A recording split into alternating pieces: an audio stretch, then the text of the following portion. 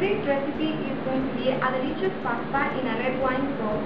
It's really easy to make, super delicious. The preparation time is going to be about 15 minutes and the cooking time is about 30 minutes. So I really hope you enjoy this recipe. Let's get started. Let's go through the ingredients. We need 1 pound of rigatoni or any other pasta you like. We need 20 ounces of ground meat. I'm using ground turkey but feel free to use any meat you like.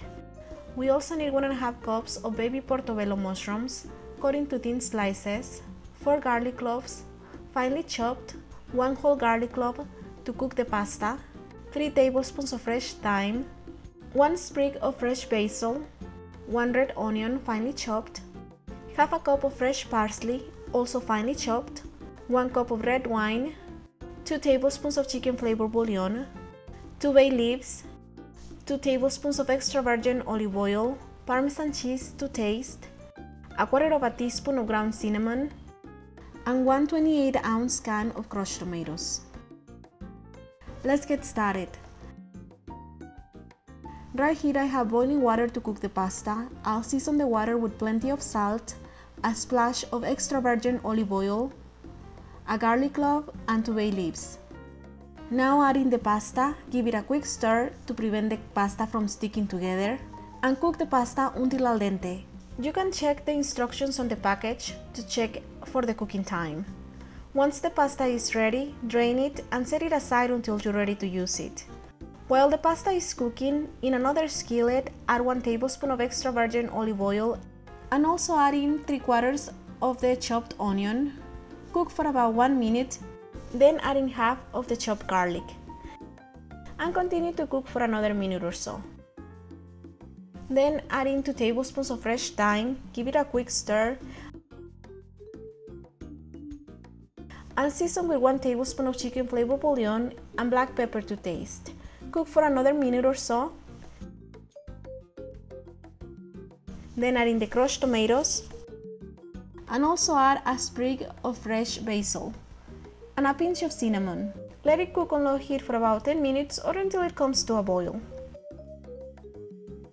In the meantime, in another skillet on medium-low heat, add 1 tablespoon of extra virgin olive oil and also add in the rest of the onion and the rest of the garlic.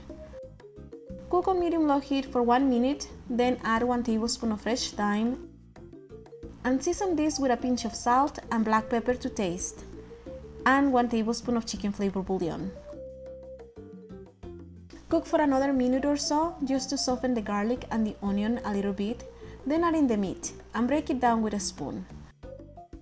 And cook the meat until golden brown. Once the meat is done, now I'm going to combine the tomato sauce with the meat. The tomato sauce should be nice and bubbly now. I'm going to transfer it into a larger saucepan and I'm going to combine it with the meat. Give it a quick stir and also add in the mushrooms and the red wine. Cook for about 5 more minutes or until the mushrooms have the consistency that you like. I don't want the mushrooms to be completely soft, so I'll just cook them for about 5 more minutes. But if you want them to be super soft and completely cooked, you can cook them for a longer time if you prefer so. After the mushrooms are done, remove the basil from the sauce now taste the flavor, add any more salt and pepper if needed. To finish it up, add some of the fresh parsley, give it a quick stir and that's about it. Now you can bring in the pasta, give it a stir and serve. I don't like mixing the pasta with the tomato sauce. So I'll just serve the pasta, then I'll spoon plenty of the tomato sauce over the pasta, garnish with fresh parsley and parmesan cheese to taste. Enjoy! I really hope you like this video. To print this and some other delicious recipes, please don't forget to visit my blog. And don't forget to subscribe to be notified of future updates. Thank you so much for watching and I'll see you next time. Bye bye.